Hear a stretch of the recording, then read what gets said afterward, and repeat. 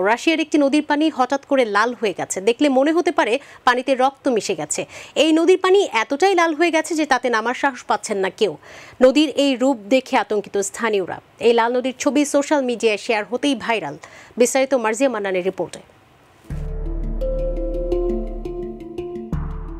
দক্ষিণ রাশিয়ার এই নদীটির নাম ইস্কিটিমকা।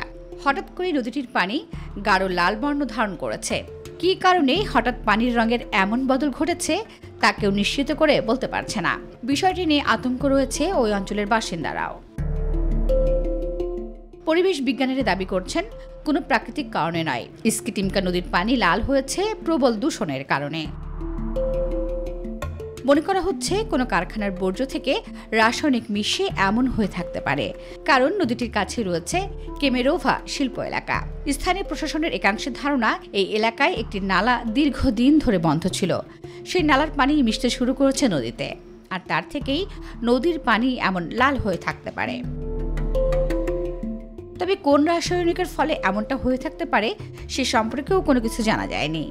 স্থানীয় প্রশাসনের পক্ষে এ বিষয়ে খোঁজ খবর নেওয়া হচ্ছে। স্কিটিমকা নদীটি রাশিয়ার বেশ কয়েকটি নদীগুলোর মধ্যে অন্যতম যার পানি রহস্যময় লালে পরিণত হয়েছে। নদীর পানির হঠাৎ এমন রং পরিবর্তন বেশ চিন্তায় ফেলেছে রুশ প্রেসিডেন্ট ভ্লাদিমির পুতিনকেও। সম্প্রতি সোশ্যাল মিডিয়ায় স্ক্রিমকা নদীর এই পানি পরিবর্তনের ভিডিও ছড়িয়ে পড়ে। আর তারপরে বিষয়টি নিয়ে নড়েচড়ে বসে রুশ সরকার। নদীর এমন রং পরিবর্তনের ঘটনায় ক্ষোভ প্রকাশ করেছেন পরিবেশ বিজ্ঞানীরাও। Marsia Mannan My TV.